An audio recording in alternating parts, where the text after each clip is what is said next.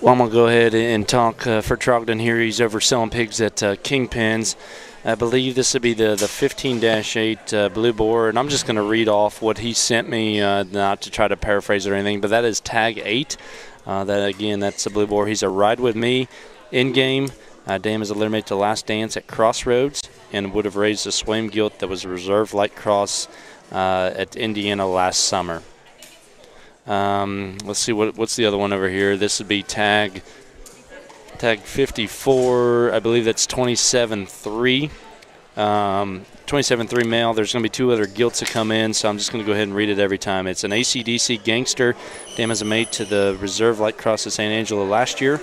Extended pedigree is Kingpin, Solid Monster, Solid Monster style raised the Grand Gilt of in 2015 as the grandma of Endgame. I can tell you that the ACDC boars at uh, Waymer's there actually goes back to a board my house. It's a Believe in Me son. So, Doug, I'll let you go ahead and talk about these. Yeah, the uh, the ride with me stuff um, obviously is, is a board for me uh, that's, that's doing very very well. There is a full sib in blood to this blue bear that has been undefeated in the state of Oklahoma, getting ready for Hawaii.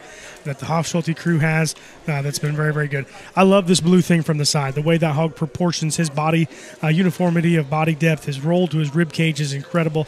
That's a big chested rascal that's got a very very neat look and uh, up front. His face and his, his look is, is awesome. That's a square, stout hind leg in a, in a light cross bear that I think will be very, very fun to, to tote uh, this uh, this summer. Uh, the narrow belted uh, boar pig there, that's a big arm with big feet, uh, with a very still attractive look up front. Really like the way that his, uh, his head design is. that's a short backed bear that's still square and genuine in terms of his skeleton. Uh, I think there's just a lot of upside in that particular bear. He's still green in his body type, uh, but still has a, a youthful look. Uh, I think a lot of better days. Uh, but you know, definitely look in on this pair, a very special blue bear uh, to lead off for Trogdon.